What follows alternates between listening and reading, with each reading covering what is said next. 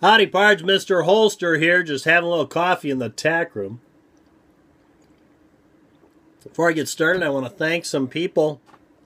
I want to thank everybody that who saw my video the other day, and I had a hard time doing that video because, yeah, I'd watched the video from Justin before I made it, and one of his final videos, and it, it hit home, it was a tough. It was tough, even now thinking about it. So thank you guys for supporting that project. I really do appreciate that. It, it was a real boost to me. Number two, I want to thank my patrons, the people that go to my Patreon account, because without my Patreon account right now, you know, things are not great, but that helps an immense amount, an immense amount. So, and and also thank you Patreons for no nobody has said a word about the lousy job I've been doing over there. Although now I got my my uh, new account set up that I can store my videos on and everything, and and is totally separate from here. I, I've started to work on my Patreon account and do the stuff I want to do, and I'm getting there. I'm slowly getting there, we got our new show over there, the Bumpin' Bullseyes with Mrs. Holster. And my wife's not here this week. Her brothers decided that she needed vacation, and she did. I think I think this has been harder on her than me. So they took her fishing for the week because her dad always used to take them fishing. He was a big fisherman, and so they went fishing for the week. So it's just Jack and I here, and yeah, unfortunately we can't drink, so it's kind of cramped our style. Jack Jack would be Jack frankly would would be uh, about at the end of his rope if he didn't have the ability to nip out to the dry bean and have a, a jack or two when I'm not looking. So that's what's going on here this week. We're just trying to get things squared away and straightened up. And if you notice, I got a new hat on. Well, it's probably not a new hat. I've got six hats here that are uh, anywhere from 10 to 75 years old, but they're all just like brand new in a box and ones I've had for a long time, and I just never wear them. And I decided normally what I do is I buy a nice Resistol, you know, average 4X, nothing great. If you really want one that's half decent, you really have to get a 20X. But the 4Xs seem to last me for like three or four years. I, after I've thrown them at a cow a few times, or enough, I start getting a little a crease a little hole in the felt right over here from hitting hitting a cow in the butt with it or or perhaps even a horse. And they start getting a little worn there and, and you finally poke through the felt. And at that point well then it's time to retire. Well i did that the other day so that hat's been retired. And you know it takes me a good two months to break the darn hat in so it fits me.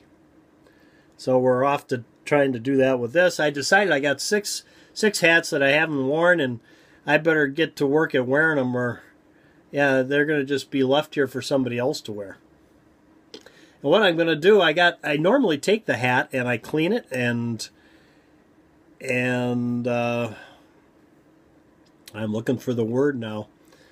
Probably a lot of you don't even know what I'm talking about here. I clean it and block the hat, and then I steam it back into shape so the hat's entirely clean. Of course, it's all worn at this point, and the sweatband looks like it's been on somebody's head, but it's all cleaned up.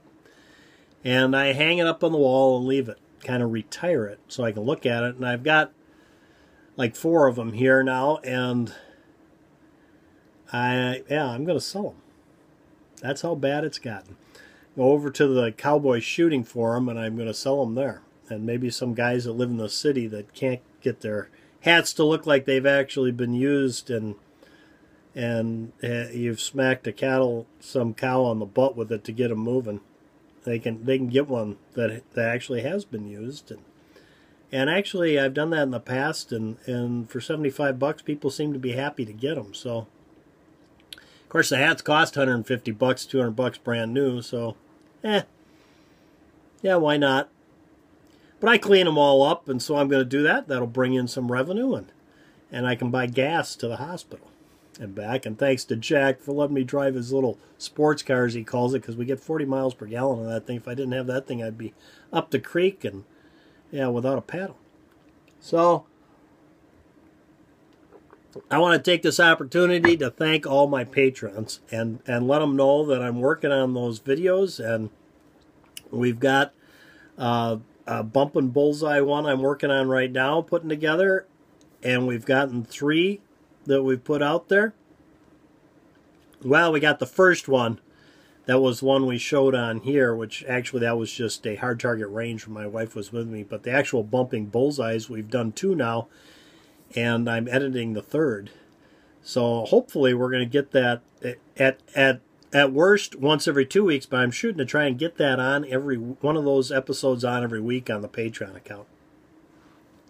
After we get some inventory there, I'm going to start maybe taking some of the old ones and put them up just on the Patreon account so non patrons can come view them if they want.